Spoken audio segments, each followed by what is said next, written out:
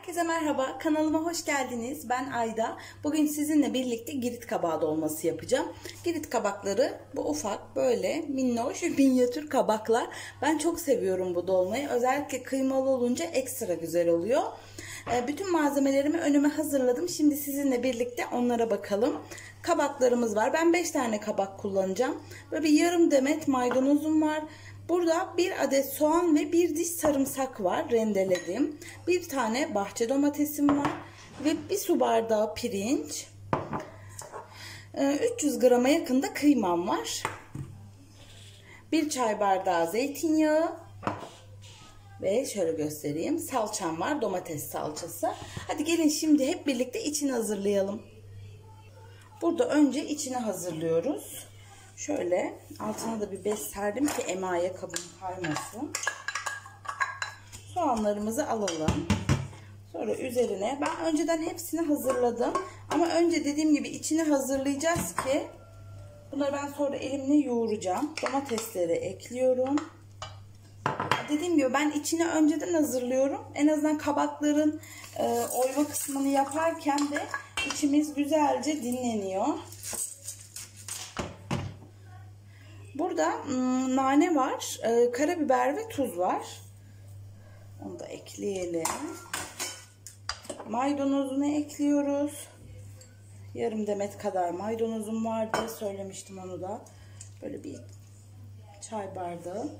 Zeytinyağımız var. Yağ çok gibi gelebilir size ama birazdan bütün malzemelerle birlikte o da karıştığında aslında tam yeterli gelecek. E, çünkü bence dolma birazcık da yağlı olur. Şimdi hemen bir kaşık da salça ekleyeceğim.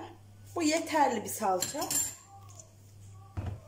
Şimdi ben hemen bunu elimle karıştırıyorum, yoğuruyorum. Sonra kabakları oymaya geçelim. Ben şimdi güzelce yoğurdum birbirine geçiyor. Bunların şimdi aroması, malzemelerin hepsi birbirine geçsin. Bu arada gördüğünüz gibi bakın yağ hiç o kadar da fazla değil. Şimdi içimiz dinlensin. Biz o arada kabaklarımızı oyalım. Burada bekleyelim. Kabakları alalım. Şimdi kabakların şu başından böyle güzelce alıyoruz ama bunları atmıyoruz çünkü daha sonra kabağımızı kapatacağız. Şimdi bu içini oymak için benim şöyle bir kabak oyacağı aparatım var. Onunla birlikte oyacağım. Ama sizin evinizde bu yoksa e, şey de yapabilirsiniz. Bir kaşık yardımıyla tatlı kaşığı, sert bir tatlı kaşığı yardımıyla da oyabilirsiniz. Bu aletler böyle her türlü e, züccaciyede de bulabilirsiniz. Ben şimdi bunları güzelce oyuyorum.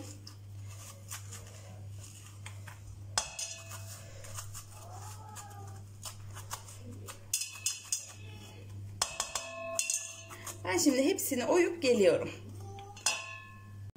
Evet kabaklarımı güzelce oydum. Şöyle gördüğünüz gibi.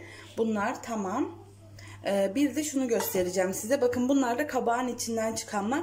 Böyle kocaman nereden baksanız 1 kiloya yakın kabak içi var. Ee, bunları şimdi atmayacağız kısacık bir ata molası verdik. Şunu söylüyordum size bakın içinden çok fazla e, kabak içi çıktı. İsterseniz bunun bu şurada gördüğünüz çekirdekli kısımlarını alıp mücver yapabilirsiniz. Çok güzel olur.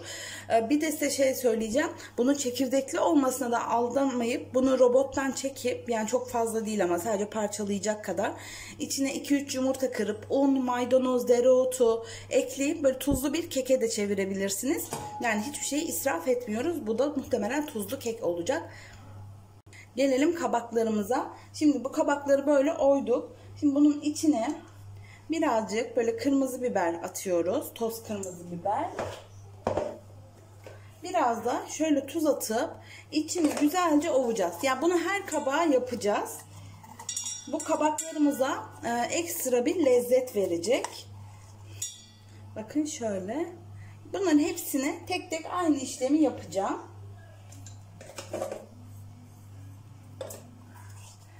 Şöyle ellerimizle güzelce ovuyoruz. Elle yapılan yemeklerin bence lezzeti daha güzel oluyor. Bakın. Şimdi ben diğer kabaklarıma da aynı işlemi yapıp geliyorum. Gördüğünüz gibi bütün kabaklarıma aynı işlemi yaptım. Bunu bana e, bu kabakları satan Ayvalıklı bir teyze var. O söylemişti. E şimdi doldurmaya geçelim. Kıymalı içimiz de güzelce dinlendi. Nereden baksanız bir 20 dakika falan oldu.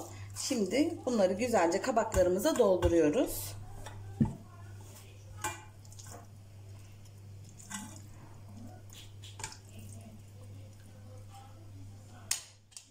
Birazcık daha koyalım. Derin de bir tencerem var. En son onu da göstereyim. Tenceremin içine güzelce dizeceğim.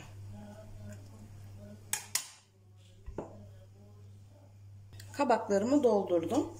Şöyle birer parmak mesafe bıraktım her birinde. Şimdi bunların üzerine güzelce kapaklarını örtüyoruz. Bakalım hangisi hangisini. Bir de bu var. Her seferinde bunu tutturmaya çalışıyorum. Bu da bunun mu?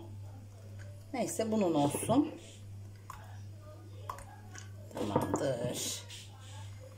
Bu da bunun olsun. Şimdi kabağımız hazır.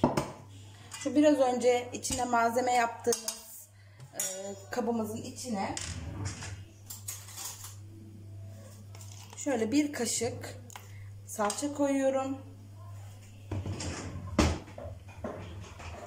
Yine bir miktar toz kırmızı biber koyuyorum.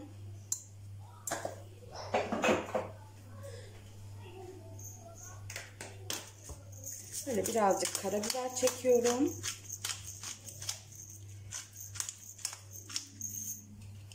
Ve üzerine su ekleyeceğim. Şimdi yavaş yavaş suyunu ekleyip ay, salçayı açacağız. Bu yemeğin sosu olacak.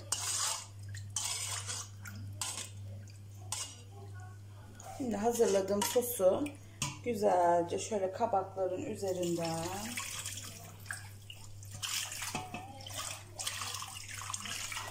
Ama bu su tabii ki yeterli değil. Bir miktar daha su ekleyecek. Tamamdır. Suyunu ekledim. Suyumuz kabakları geçmeyecek ama yarısından da fazla olacak yani kabağın. Çünkü içindeki malzeme çok olduğu için bu suyu çekecek. Şimdi ben bunu ocağa koyuyorum. Pişince görüşelim. Evet dolmalarımız hazır. Şimdi onu güzelce servis tabağına alalım. Ben suyunu biraz fazla koydum çünkü baldo pirinç kullanıyorum. Çok fazla su tüketiyor. Ama siz Osmancık ya da bu pilavlık ya da ithal pirinç kullanıyorsanız ona göre su ölçüsünü ayarlayabilirsiniz. Benimkiler suyunun çok az bir kısmı kalmıştı. Çekmediği ama nereden baksanız tamamını çekti diyebilirim. Dolmalarımı servis tabağıma aldım. Ben yoğurtla birlikte tüketmeyi seviyorum. İnşallah severek izlediğiniz bir video olmuştur. Lütfen beğendiyseniz beğen butonuna basmayı unutmayın. Ve hala kanalıma abone değilseniz abone olursanız da beni çok mutlu edersiniz. Bir sonraki videoda görüşmek üzere. Hoşçakalın.